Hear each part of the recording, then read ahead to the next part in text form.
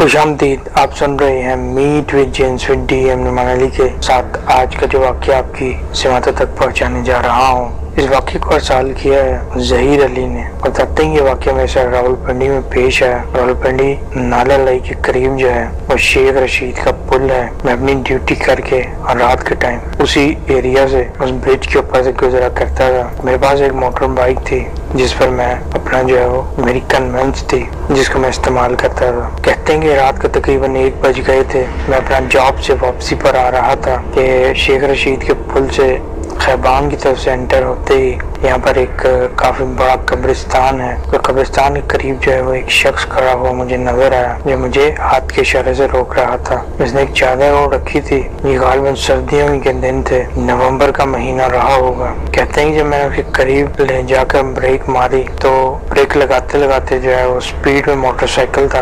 रात का वक्त अपना तेज दौड़ाता हुआ आ रहा था। तो रुकते रुकते जो है मैं काफ़ी आगे निकल गया। और जब पीछे होकर देखा तो वो शख्स कहीं नहीं था। मैंने बाइक को वापिस टर्न किया। इर्द गिर्द देखा तो मुझे कोई भी नज़र नहीं आया। कहते हैं कि मैं परेशान हुआ। कभी तो शव यहीं खड़ा था। तो क्या दिखता हूँ कि लिटरली मुझे ऐसा महसूस हो कि कब्रों के बीचों बीच कोई खड़ा है, जो मेरी तरफ़ देख रहा है। अब जो गौर के तो मालूम हुआ कि वो शख्स जो अभी यहाँ खड़ा था, वो दूर, इतनी दूर कहीं कब्रों में पीछे खड़ा हुआ मुझे नज़र आ रहा है। अब मैं नया हैरान हुआ कि पलक के चिपकने में ये वहाँ से यहाँ कैसे पहुँच गया। तो बहरहाल महसूस हुआ कि ये जो है वो कोई और ही कोई मखलूक है। तो फटाफट जो है मोटरसाइकिल भगाने की अब जब उस ब्रिज से उस पुल से शेख रशीदी गुजर रहा था तो महसूस हुआ कि जो है वो कंधे एकदम वजनी हो गया, मोटरसाइकिल जो है वो वो भी जो है वो 20 की स्पीड से आगे हम बढ़े। यानी कि ना होने के बराबर जो है वो बिल्कुल वज़न पड़ गया, वजनी हो गया और चले ना। तो नहर खौफ में मुबतला हुआ। मुँह से आवाज़ भी ना निकल रही थी और गीगी बन चुकी थी। अब जब पीछे मुड़ के देखा तो वही शख्स जो है वो पीछे बाइक पर बैठा हुआ है और उसने जो है वो मेरी पसलियों में हाथ डालकर इसके अंदर ज़ोर से दबाया कि मेरी जो है वो चीखें निकल गई और मैं इतना खौफ ज़्यादा हुआ कि मोटरसाइकिल मेरे काबू से बाहर हो गया और वहीं पुल पर नीचे जो है मैं गिर गया। कहते हैं मैं खौफ से जब उठा, देखा इर्द गिर्द कोई भी मौजूद नहीं था।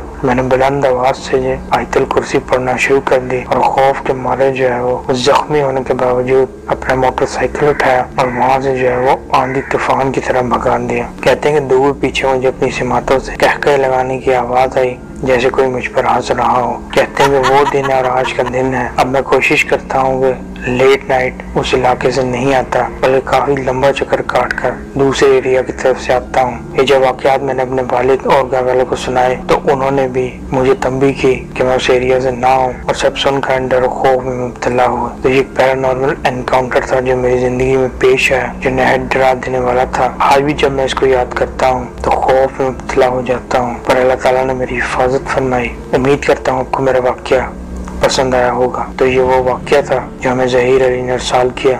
कमेंट बॉक्स में अपनी राय का इजहार कीजिए। अगर आप भी अपना कोई वाक्य भेजना चाहते हैं तो वॉइस टी बनाकर हमें दिए गए व्हाट्सएप नंबर पर साल कीजिए। लाइक शेयर और सब्सक्राइब के साथ सुनते रहिए। Meet with gents